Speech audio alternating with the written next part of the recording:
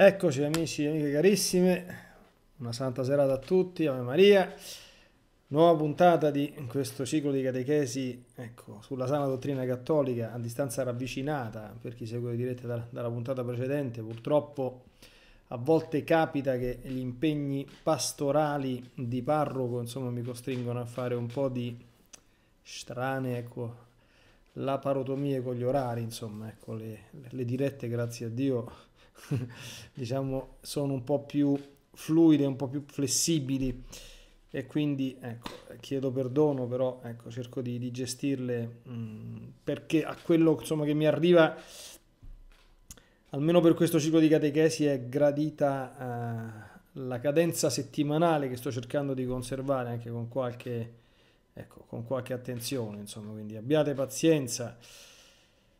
Eh, ecco, anche la settimana prossima sicuramente sarà qualche piccolo problema perché non ci ho ancora pensato, ma lunedì prossimo è la vigilia dell'Immacolata, se non ricordo male, insomma, è il 7, quindi ci sarà la veglia, l'8 è martedì, vediamo un po', insomma, perché tanto forse con, con le, chi lo sa, con, con i coprifuoco forse si può andare in diretta anche martedì. Comunque va bene, chiuse dei preamboli, insomma, che non interessano poi troppo. Mm, passiamo agli argomenti di oggi perché stiamo affrontando il bellissimo tema dei dieci comandamenti e ci sono ancora delle cose molto importanti, molto importanti e pur diversamente molto attuali da affrontare, che sono innanzitutto tanta la sfera di quei comportamenti che offendono Dio e che vanno sotto il nome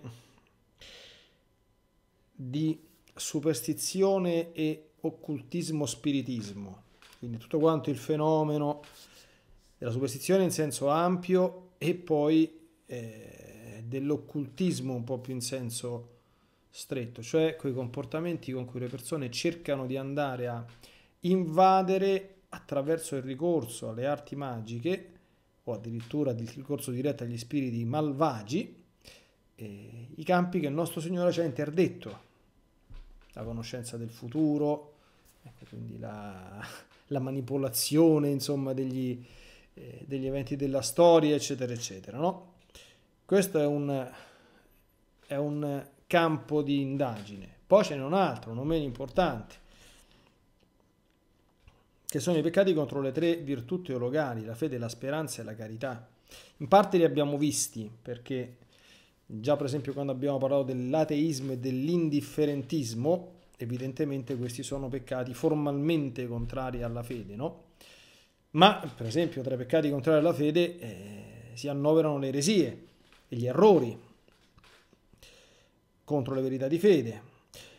Poi sono i peccati contro la carità, soprattutto quelli che ledono la comunione ecclesiale, cioè gli scismi, la rottura dell'unità ecclesiale.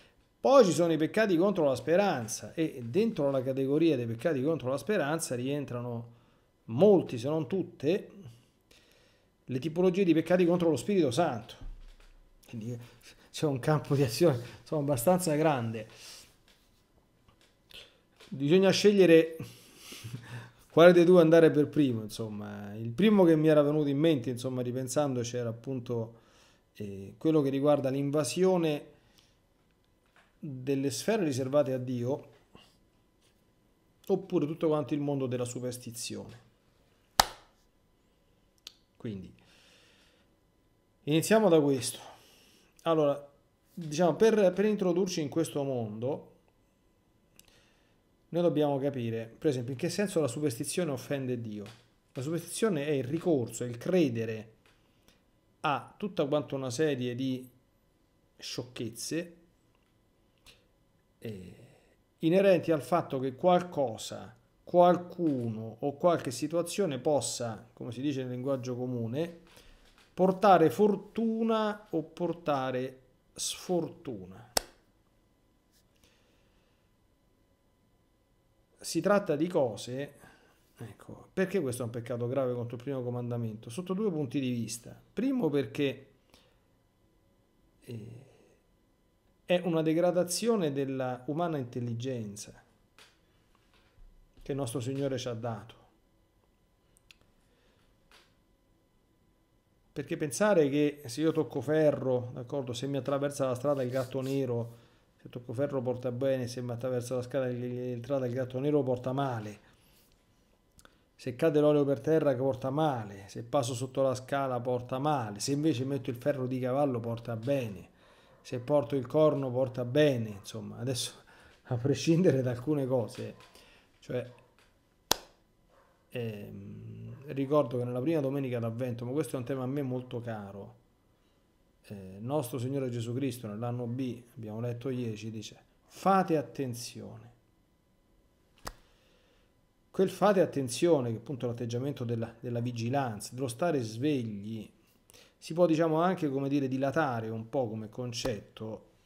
E io amo dire alle persone per favore cercate di pensare,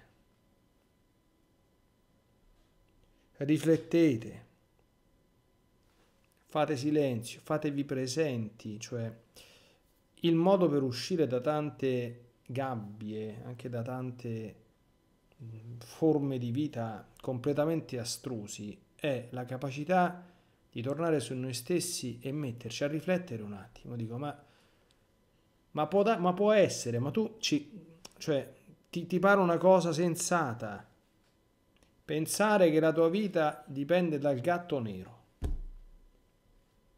Di, dimmi tu, cioè, capito? Cioè, quando un essere umano pensa una cosa di questo genere, che cosa deve pensare? O se fai qualche gesto apotropaico, no? Quando io ero piccolo, eh, tra, tra, gli, tra, tra, i compagnucci si diceva che ah, se, passi il, il, se passa il carro da morto, se non c'è la bara dentro, devi fare un gesto apro, apotropaico, perché altrimenti il prossimo andare dentro la bara sarai tu. Cioè,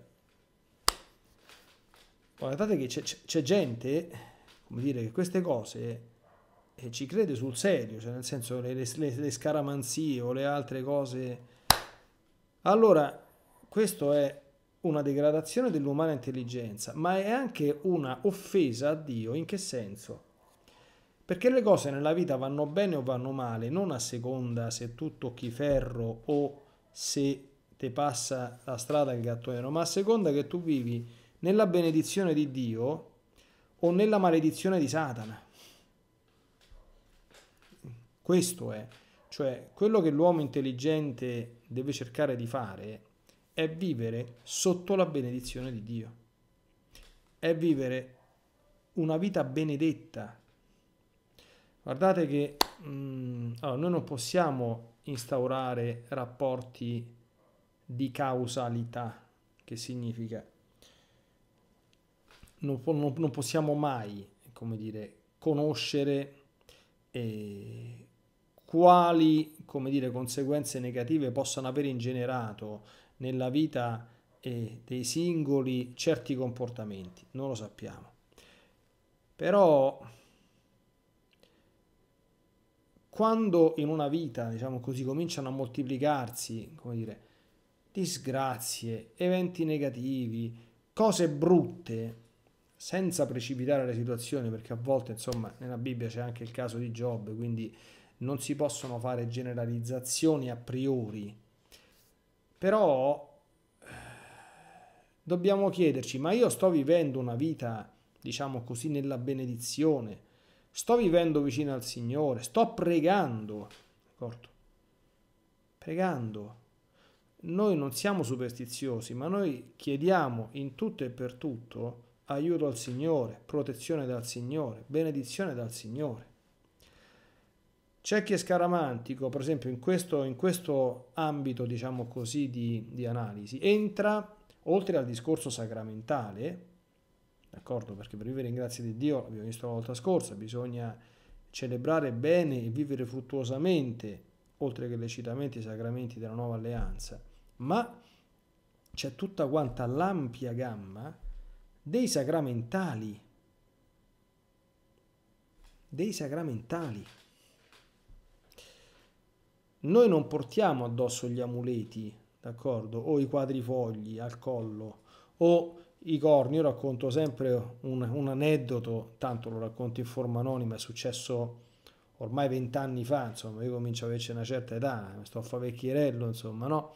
Mi ricordo, ero seminarista, stavo in servizio alle vasche di Lourdes, eh, si presenta una persona, sapete che quando c'è a fare il bagno alle vasche di Lourdes eh, eh, bisogna togliere i vestiti, quindi questo aveva al collo una catenina dove c'erano appesi un crocifisso e un corno. Allora io ebbi il coraggio di dirgli, senti fratello mio, qui c'è un piccolo problema, che di questi due uno è di troppo.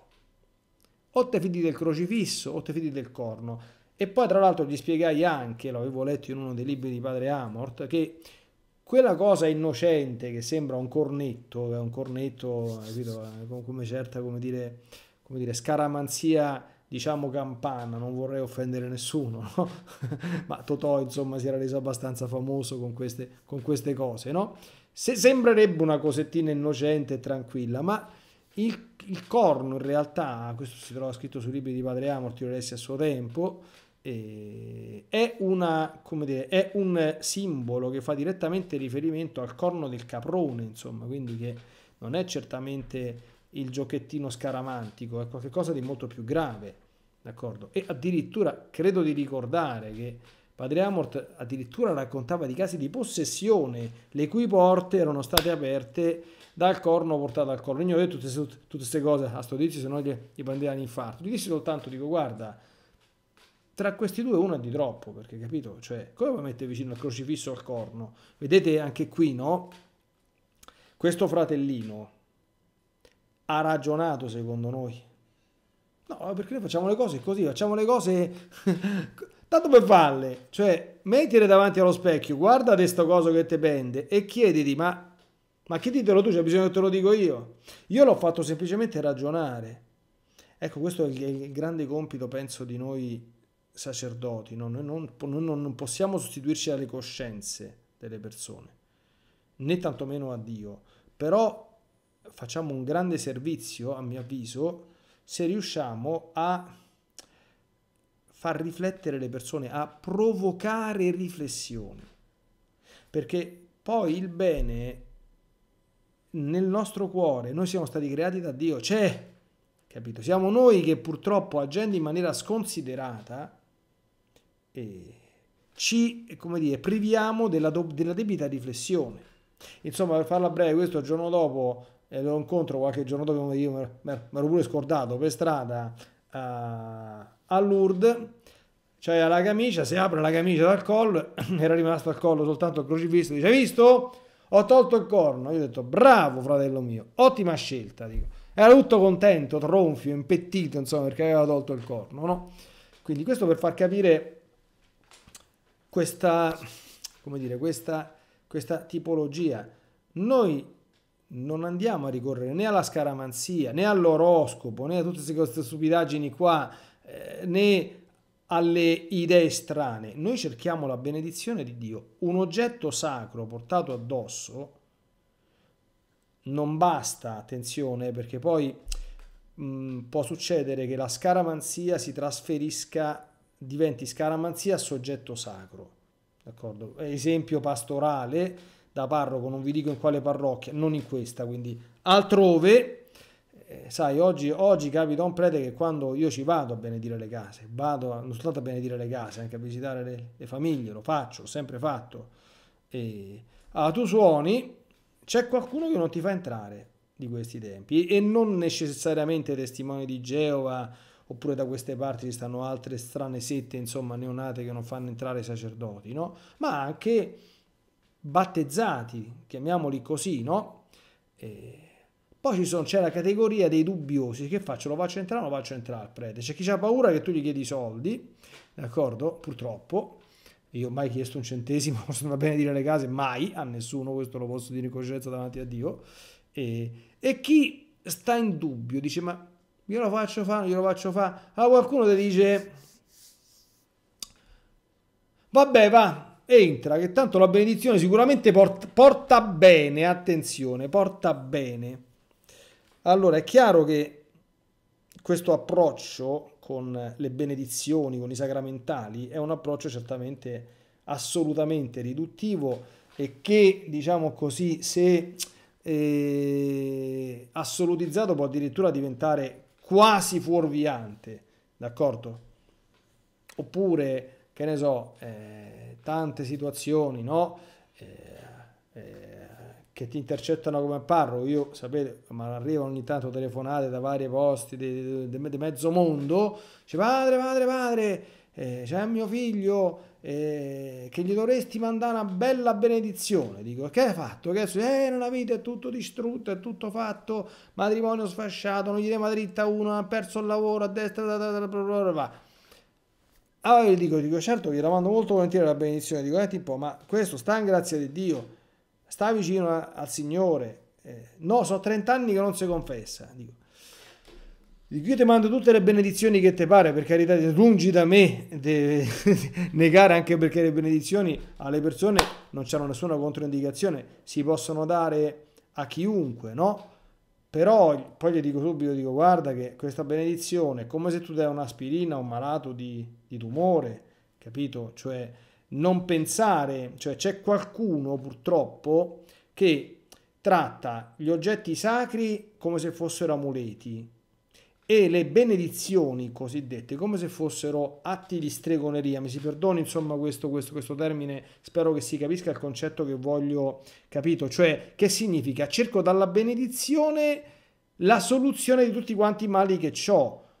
Questa è una cosa assolutamente fuorviante, d'accordo? Perché la benedizione ti aiuta, come dire, è una qualcosa che completa una realtà che già c'è in atto cioè una tua vita di vicinanza al Signore che però chiede di essere intensifica, intensificata al massimo livello anche per proteggerti, forse lo vedremo già questa sera, da possibili attacchi del male che devono trovare, come dire, un'armatura bella completa, non devono trovare spiragli e porte d'ingresso, questo va bene, ma la benedizione, l'oggetto benedetto, il sacramentale, non si sostituisce alla vita di grazia, né risolve i problemi legati ad un approccio del tutto inesistente o comunque assolutamente carente con la fede, i sacramenti della fede e la vita di fede. D'accordo? Quindi spero che questo, detto questo però, i figli di Dio, i sacramentali li usano perché non credono in ciò che porta bene o in ciò che porta male, ma sanno che se Dio ha istituito e nella Chiesa ci sono queste cose, quindi oltre ai sacramenti, anche questi strumenti di benedizione e di grazia, che sono appunto i sacramentali, che sono una montagna, insomma, sono dei segni che trasmettono la grazia, come dire, non con la stessa forza, con la stessa efficacia, non soprattutto con la stessa, come dire, inesorabilità e, e oggettività, mi si passi questo termine, dei sacramenti, perché sacramentali eh, si insegna in teologia, funzionano ex opere operantis, cioè sono tanto più efficaci quanto più viva è la fede sia di chi li amministra che di chi li riceve, a differenza dei sacramenti in cui, mi raccomando, la fede, come dire, eh, non tocca l'oggettività del sacramento perché operano ex opere operato, quindi non ex opere operantis. Allora, dentro questa cornice allora, via la superstizione, ma dentro apriamo le porte all'uso dei sacramentali. Sono tanti, io mi limito a citare i principali. Per esempio, qualche giorno fa è stata la festa, 27 di novembre, è stata la festa della, della medaglia miracolosa. Se la Madonna è scesa dal cielo dicendo fai coniare una medaglia, gliela, fa, gliela mostrate il fronte e il retro, e dicendo chi porterà questa con fede, attenzione, riceverà grandi grazie allora, portatela, mettitela, compratela, vai dal sacerdote, fatela benedire e portala addosso. Il crocifisso, per noi è un onore portare il crocifisso al collo.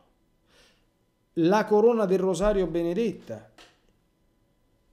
Purtroppo questo gesto, come, come, come, ben, come ben credo molti vedano, molte volte è profanato perché oggi è una moda e a volte insomma si vedono pendere eh, da certi colli insomma dei rosari che poi ecco, vanno a terminare in zone specialmente femminili che fa, fa, fa, sarebbe bene mantenere abbastanza riservate, ma che invece diciamo così ri, risaltano a fianco del, del, rosario, mi si perdoni insomma questo, questo sarcasmo un pochino amaro, no? Ecco, quindi che brutte, che brutte cose, insomma, no? Quindi è chiaro che quello non è un bel gesto, insomma, per carità, eh, il rosario è sempre rosario, ma bisogna anche portarlo con una certa, con una certa dignità, con un certo decoro, no? Ecco, quindi eh, c'è la medaglia di San Benedetto, che non molti conoscono, anche quello è un sacramentale molto molto protettivo, perché la medaglia di San Benedetto, adesso non ci posso fare una catechesi a parte, ma contiene incastonati tutte quante la serie, eh, una serie di acronimi, quindi con tutte quante le iniziali di queste frasi che sono mh, frasi imprecatorie contro il diavolo e che servono a mantenerlo lontano. E poi dentro casa, dentro casa, avere un crocifisso, avere un quadro della Madonna, della Sacra Famiglia, di nostro Signore Gesù Cristo, di un santo, è certamente una cosa che male alla casa non gli fa, insieme alla benedizione che ti porta il sacerdote viceversa, tenere in casa schifezze, si vedono in giro schifezze. Io la cosa che raccomando, togliete dalle case, se volete un consiglio, eh, poi fate come volete, insomma, corni, ferri di cavallo, immagini oscene, quadri osceni, sculture oscene. Eh, adesso qui non si tratta di andare a violentare le, le coscienze, eh, ma un'immagine oscena, un nudo, una scultura oscena, come dire, eh, esporlo, quindi tenerlo e esporlo, è senza nessun dubbio peccato mortale. Non è questo, cioè uno può eh, ribellarsi o non, non, ribellarsi, ma su questa materia non, cioè uno può non saperlo, però come sacerdote qui non si tratta di una cosa, come dire, incerta fa un male enorme. Ogni volta che tu lo vedi fa un male enorme. Immagina se un bambino cresce vedendo quelle cose e fa un male enorme a chi entra dentro casa tua. Io mi sono trovato non poche volte insomma pensate il sacerdote entra dentro una casa deve fare una benedizione fa finta di non vedere perché che cosa vuoi che, che, che mi mette a fare io lì in diretta? Mi metto a dire che faccio? Quindi eh, capisco che le persone non, non, se ne rendano minimamente conto, no? però eh, tutto quello che è cattivo e che è malvagio, in una maniera a noi misteriosa, insomma, per noi non conoscibile, perché le cose della fede, sia nel bene che nel male, rimangono sempre ammantate nel, nell'ombra, nel mistero, nel non perfettamente definito, ma quella cosa sicuramente beneficio a quella casa non, non la porta, questo è sicuro, d'accordo? Cosa porti di, di, di, di, male non siamo in grado di determinarlo, ma che sicuramente non porti niente di bene, questo non ci piove. Questo qui. D'accordo?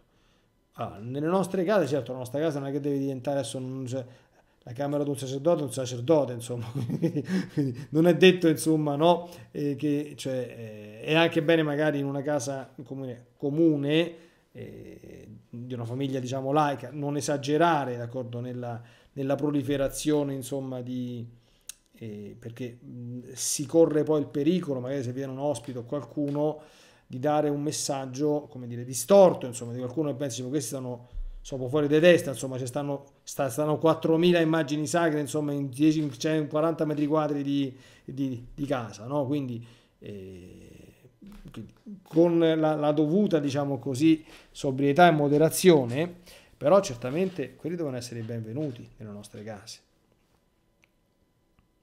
Poi abbiamo i, i sacramentali classici, insomma, ci stanno l'acqua benedetta, imparare l'uso dell'acqua benedetta, di cui eh, Santa Teresa era devotissima. La Chiesa nella sua liturgia, nella notte di Pasqua, distribuisce le bottigliette d'acqua benedetta. Mo, mo purtroppo l'acqua benedetta è sparita con questa cosa.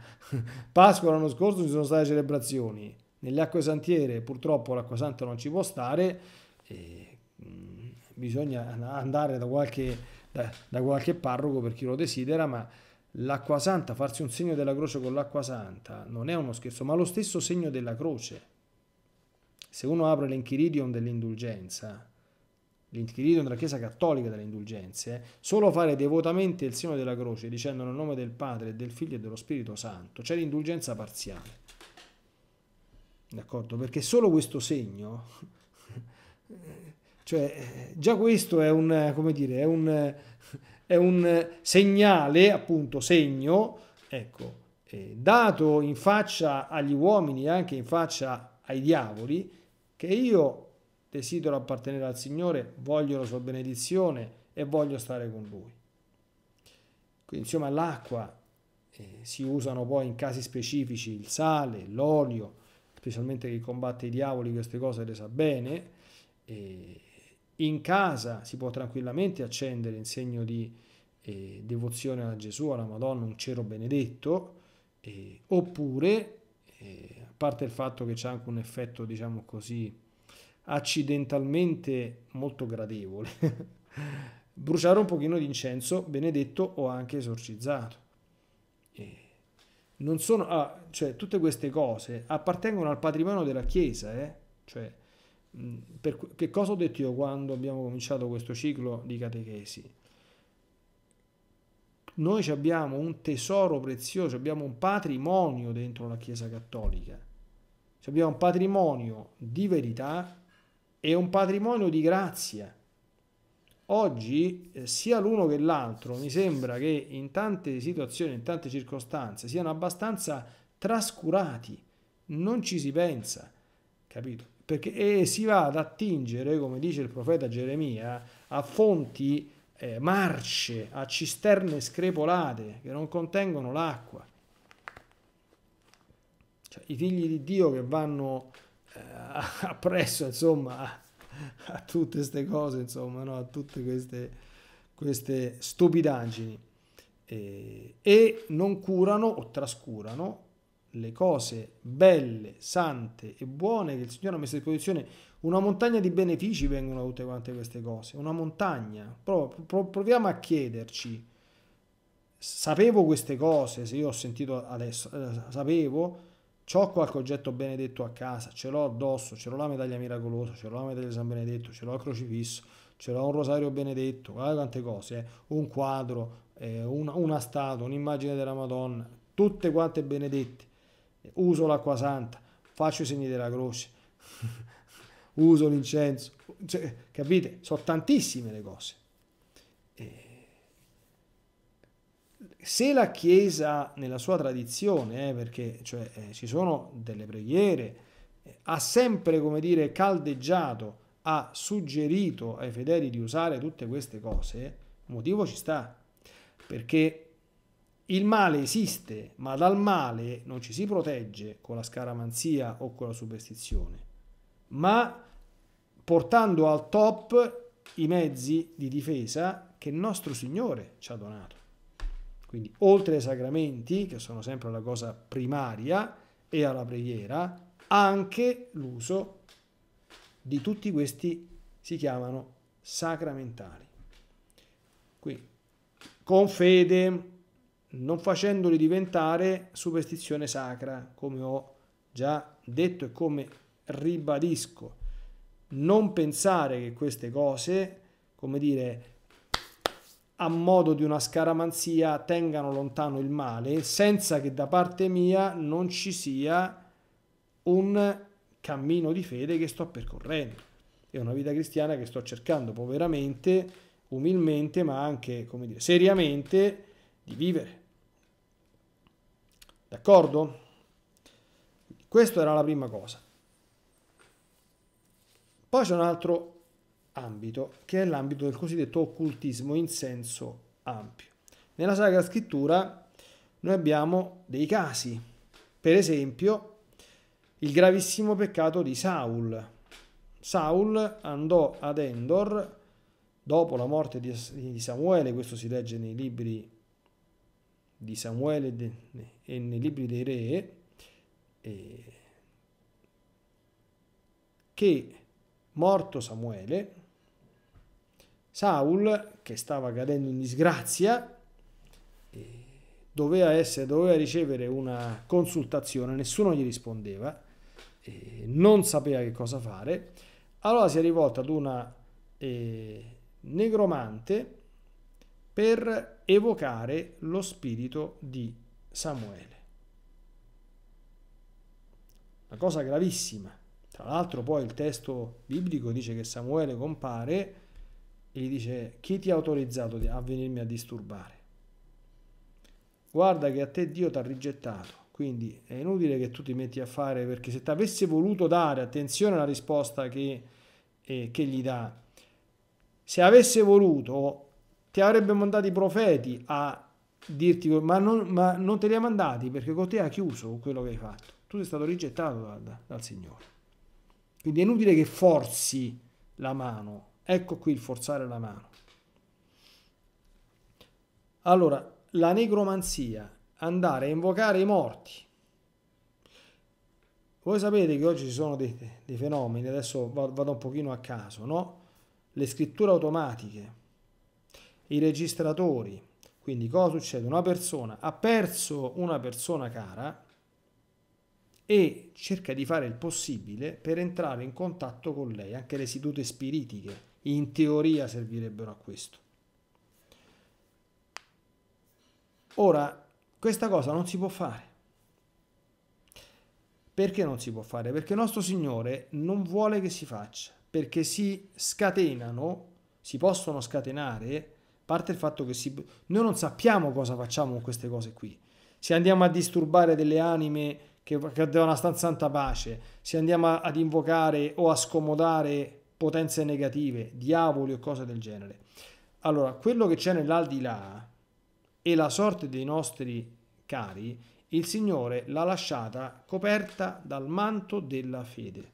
Questo manto lui lo può sollevare, però un, per farti un regalo, però un conto che lo solleva lui, un conto che tu lo prendi e lo forzi. Esempio, un conto che tu vai dal medium per fare la seduta spiritica o la scrittura automatica o il registratore, un conto che il nostro Signore ti suscita una natuzza evolo, tutti quanti la conoscono, io anche, il mio, il mio, amico Francesco, la mamma del mio amico Francesco ha avuto a che fare con, con Natuzza Evolo e c'ha in maniera assolutamente sorprendente, no? E Ma quello che cos'è? Quello è un dono di Dio però, d'accordo? Se Dio liberamente suscita un carisma in un suo figlio o in una sua figlia, volto a portare consolazione e conforto a qualcuno dei suoi figli, anche circa la sorte dei loro cari, noi ci mettiamo in ginocchio e ne ringraziamo il Signore. Ma questo è un regalo che lo fa Dio. Se non c'è un intervento divino, nessuno deve andare a forzare la mano. È la stessa cosa, no? Sapete cosa dicono i maestri di spirito? Se t'appare la Madonna, beato te. Bisogna fare prima discernimento se la Madonna ti è apparsa. Ma un'apparizione è un'iniziativa divina. D'accordo? Noi non possiamo forzare un'apparizione della Madonna, non soltanto non possiamo forzarla, ma dico, tu neanche lo devi chiedere. Assolutamente perché le cose straordinarie non soltanto, a parte che non le possiamo forzare perché non siamo in grado di farlo, ma non le dobbiamo neanche chiedere. Però, per esempio, c'è un altro, ci, ci sono degli ambiti, per esempio, il regno dei morti è uno, poi c'è il futuro, conoscere il futuro. Eh, secondo ambito, chi è che si fa leggere le carte? Chi è che va dal mago di turno? Chi vuole conoscere il futuro. Ma il futuro, altro punto, è un'altra cosa che la divina bontà, qui stiamo parlando del primo comandamento, che la divina bontà e la divina sapienza ci ha occultato. Allora, quando Dio ci occulta in questo mondo qualcosa, ecco perché i peccati contrari sono gravi contro il primo comandamento. Domanda, sempre la solita domanda, quindi rifletti, ragiona, pensa, se Dio, questo, questo, torniamo nell'Eden e c'è la stessa identica cosa, eh? se Dio ti occulta una cosa, quindi dice non è bene per te saperla, ci avrà torto o ci avrà ragione, o vogliamo fare come Adamo ed Eva, dice che ha fatto, ti ha occultato l'albero della coscienza del bene e del male, Ah, e questo sarebbe uno che ti vuole bene. Ti ha occultato l'unica cosa degna di essere conosciuta e saputa, la cosa più bella che ci sta, cantò il diavolo ai nostri progenitori. Allora, se uno si mette a sfondare queste porte, sta dicendo a Dio, tu me le hai occultato queste cose, quindi queste sono cose, cioè la conoscenza del futuro, a chi appartiene? Al Signore. La conoscenza del regno dei morti, di cosa ci sta nell'aldilà, a chi appartiene? Al Signore. In questa vita il Signore vuole che su queste cose noi facciamo un atto di fede. Ci abbandoniamo nelle sue mani, diamo gloria a Lui. Il futuro, Signore mio, non lo conosco, ma tanto il futuro, che me lo vivrò vivendo perfettamente ogni giorno il mio oggi, il Vangelo, a ciascun giorno basta la sua pena, prenda la sua croce ogni giorno e mi segua, basta, d'accordo? Per quanto riguarda il futuro e per quanto riguarda quello che c'è dall'aldilà, mi basta quello che mi dice la Chiesa, c'è l'inferno per chi muore in stato di peccato mortale senza essersi pentito, c'è il purgatorio per chi muore in stato di grazia pur avendo dei peccati da espiare e c'è il paradiso per chi muore da santo o da martire. Basta, non occorre sapere altro. Non, fa, non, non, non occorre di per sé sapere altro. Poi c'è un terzo ambito di applicazione qui si va nelle scienze sataniche, purtroppo. Anche queste disgraziatissimamente diffusissime. Cioè il provocare il male, il fare il male non direttamente, quindi attraverso, che ne so, un omicidio, per, menare qualcuno, percuoterlo, eh, diffamarlo, no, ma colpendolo attraverso il ricorso e l'invocazione del male, degli spiriti del male. E qui c'è il cosiddetto spiritismo, che è una cosa diversa dall'occultismo. Cioè si invocano gli spiriti perché facciano del male. Questo, questo, è un fatto molto reale perché purtroppo, e guai a chi non ci crede, i padri della Chiesa chiamavano il diavolo la scimmia di Dio. Che significa? Significa che il diavolo imita, al contrario però, infatti conoscete tutta quanta la simbologia satanica, è tutto quanto un rovesciamento, noi abbiamo le candele bianche e loro neri, la croce dritta e loro storta, d'accordo? il colore dei santi è il bianco e loro è il nero, eccetera, eccetera, no? Ecco. Quindi il diavolo la chiamavano la scimmia di Dio, quindi imita al contrario quello che vede fare da, dall'Altissimo. E essendo un puro spirito, quindi un ente di gran lunga superiore all'essere umano, lui ha il controllo il potere su una serie di forze che noi non conosciamo, ma loro sì, che è infinitamente inferiore infinitamente inferiore a quello che Dio ha, ma di gran lunga superiore al nostro. E quindi attraverso la provocazione di certe cose, attraverso alcuni rituali che sono eh, la, la pantomima al contrario dei nostri, quindi dei nostri sacramenti e sacramentali, questi fanno del male al prossimo.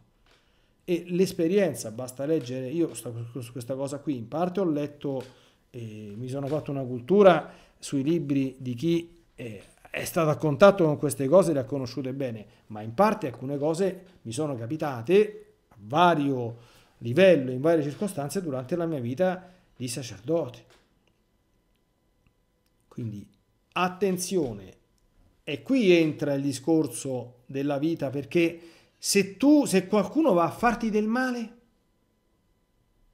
se una persona ti odia, va dal satanista di turno, e ti comincia a dire questo voglio, voglio, voglio che tu gli faccia del male, devi fargli una fattura a morte, devi fargli questo.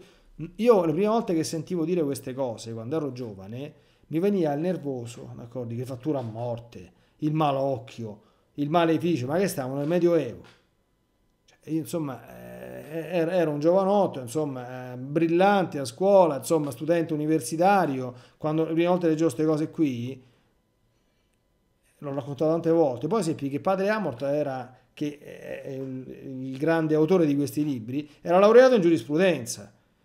Come mi stavo laureando anche dico, ma come è laureato in giurisprudenza? Questa è persona intelligente, è una persona colta, non è, una, non è, un, non è un credulone. Come fa a scrivere queste cose? Eh, come fa a scrivere queste cose? Le scrive perché questo l'ha visto con gli occhi suoi. Io non amo raccontare, non, non, eh, racconterò insomma eh, tante cose, ma vi assicuro che sono purtroppo vere. È una realtà, il mondo del male è una realtà. Come mi... Dico, e se me lo fanno a me? Allora, se te lo fanno a te, bisogna vedere che cosa trovano.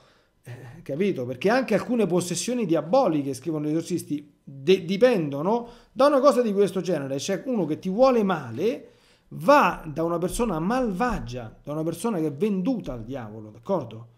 Che è asservita, che lo serve ci stanno i sacerdoti di, de, del diavolo, purtroppo, lo dico con estremo dolore, ma è così.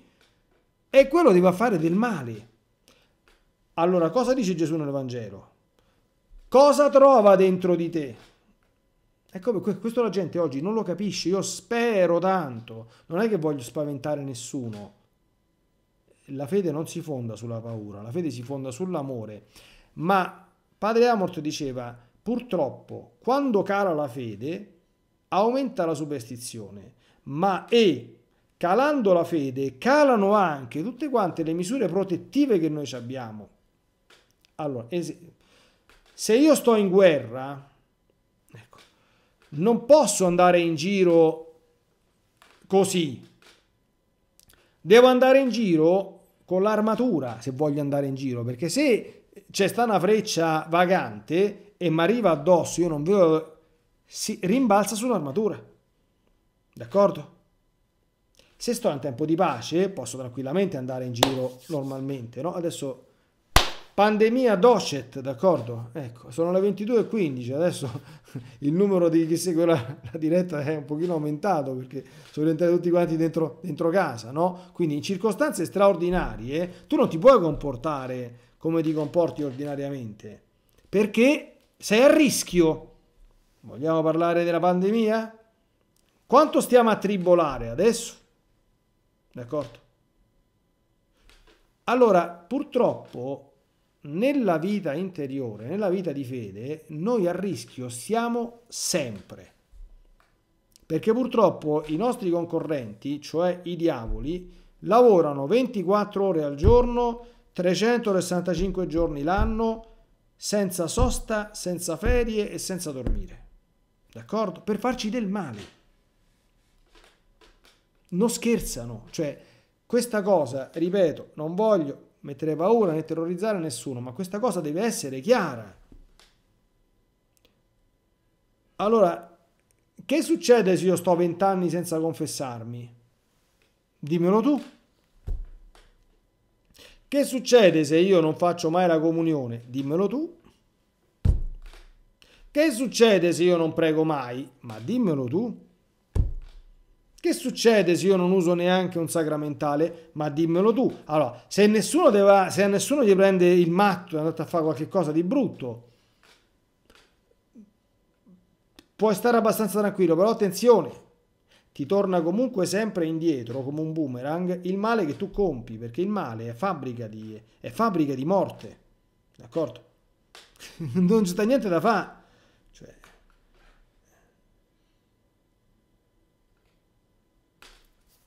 Purtroppo queste cose esistono. C'è gente, purtroppo, malvagia.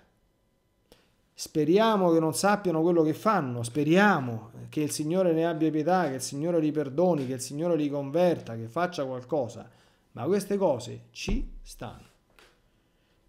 E purtroppo, come spero che sappiate, anche questo è inutile insomma dire che è un peccato gravissimo contro il primo comandamento, ci sono purtroppo oggi anche dei dei, dei, dei, poveri fratelli e sorelle che non so che cosa gli abbia detto la testa, e che anziché rendere culto a Dio, danno culto al nemico, danno proprio culto esplicito con tanto di consacrazioni, di cerimonie, di culti, di rituali, di cose di questo genere. Questo è una piaga, è un fenomeno che è nato eh, ormai quasi, due, quasi 200 anni fa e che è tutt'altro che sopito. Ecco. Ci sono anche in Italia, sappiate, centri.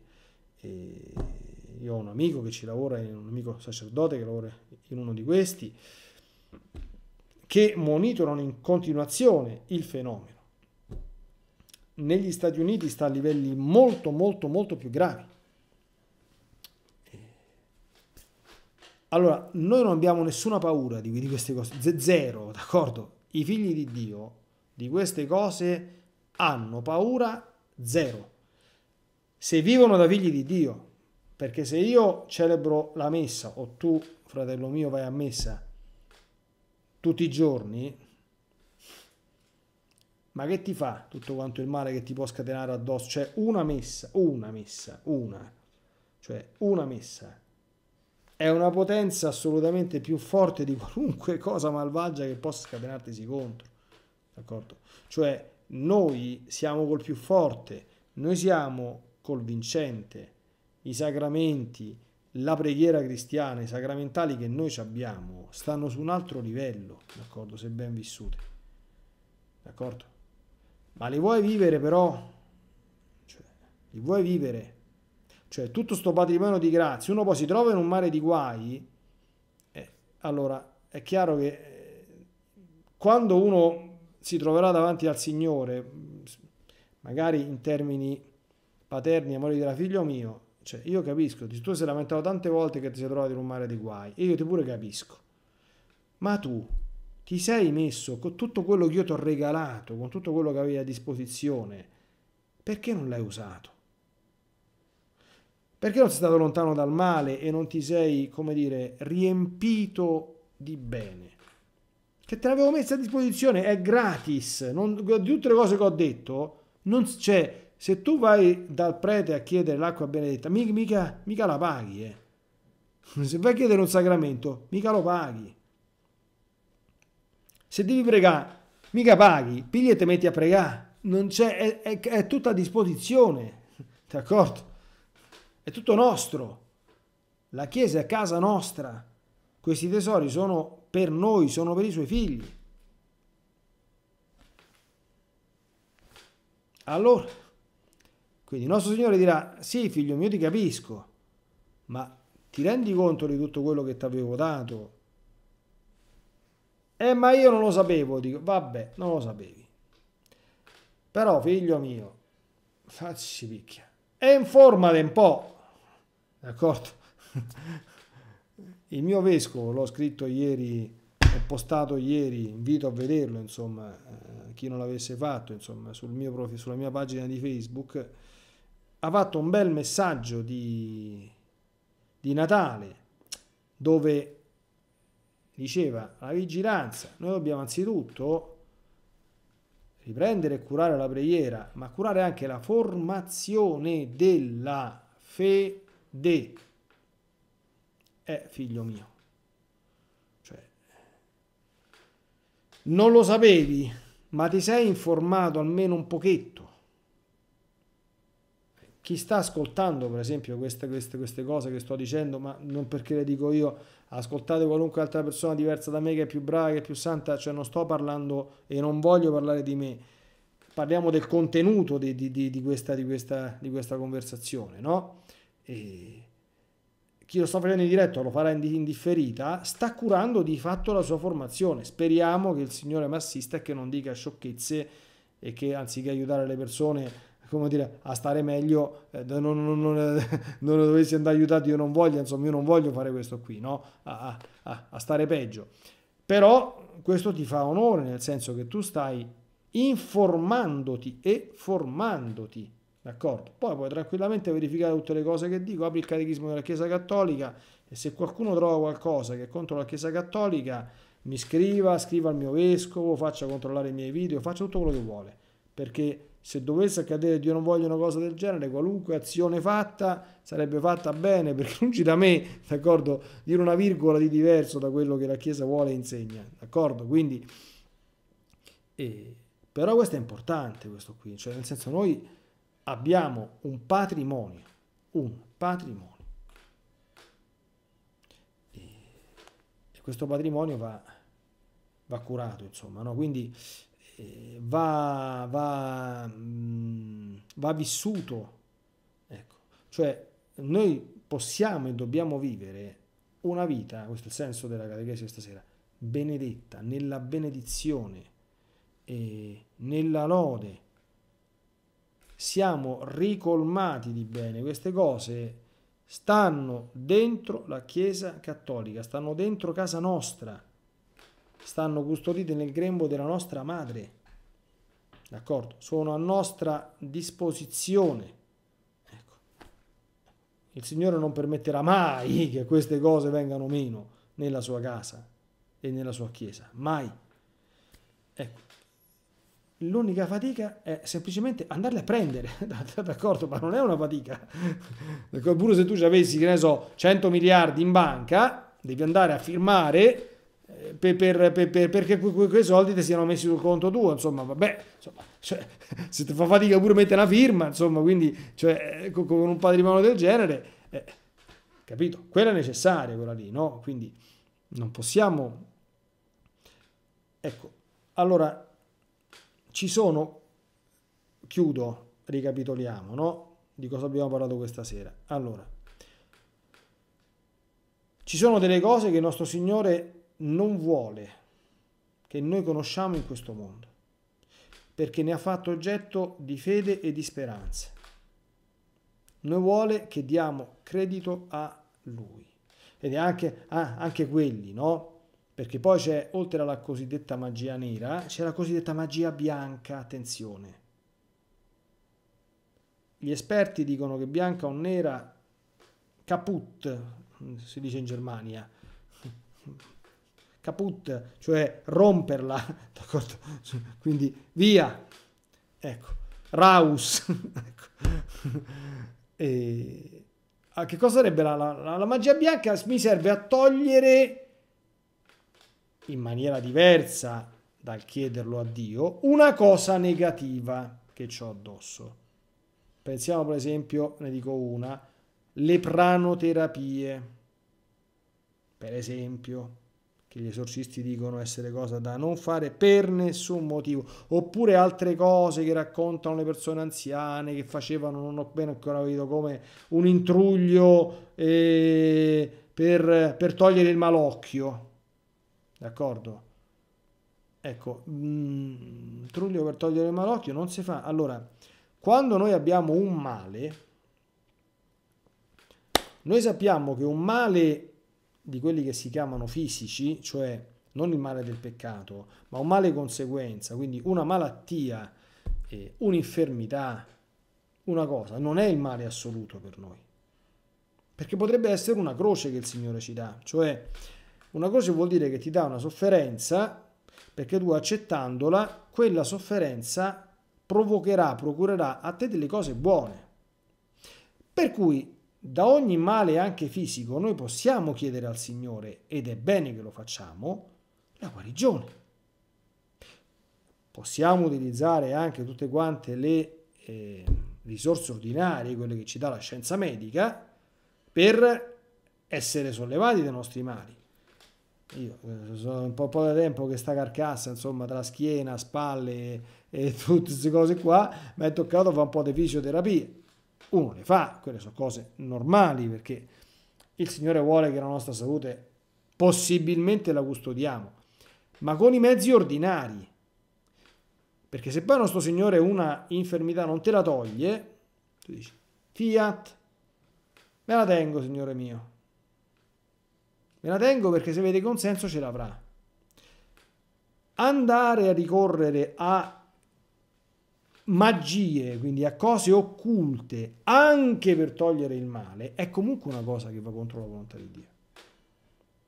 A prescindere dal fatto che alcuni esorcisti affermano che anche in quel caso vengono smosse le forze del male, le quali ti tolgono un male immediato perché poi ti presentano il conto ben più salato.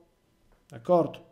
Questo è quello che dicono alcuni, ma anche a prescindere da questa ulteriore considerazione, il fatto in sé è comunque negativo.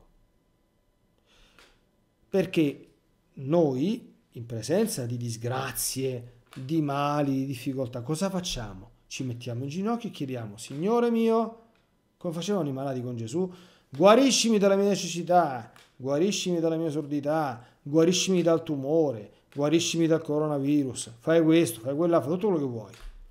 E ti supplico, però sia sempre fatta la tua volontà e non la mia.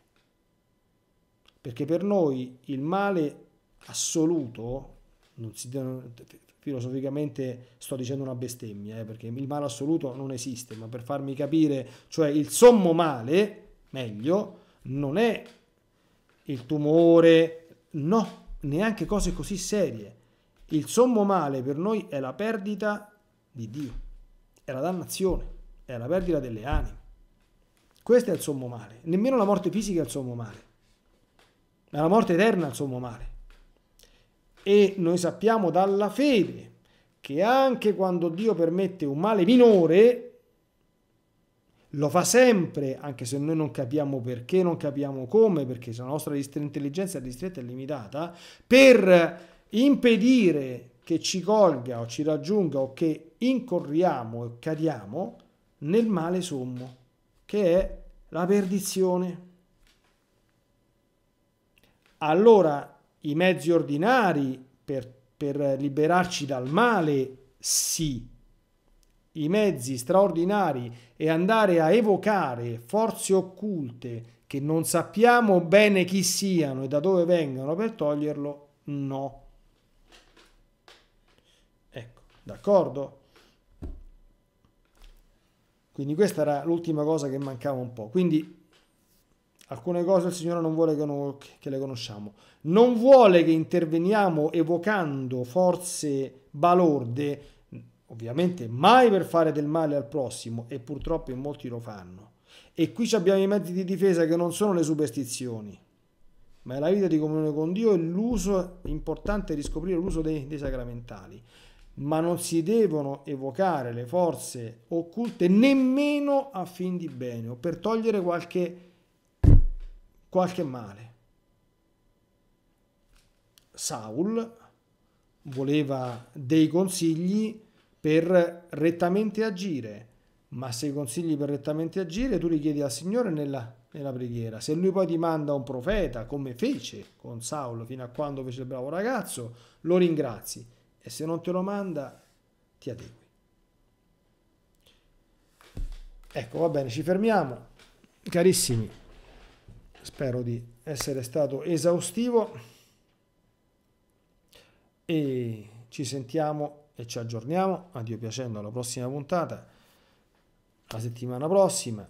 E vedremo poi, seguitemi insomma come sempre, chi vuole seguire le, le dirette segua la pagina Facebook dove ci sono le, le comunicazioni, sicuramente parleremo delle, dei peccati contro la fede, la speranza e la carità, come introdotto, degli scismi, delle eresie, dei peccati contro lo Spirito Santo e delle altre cose che riguardano questa materia.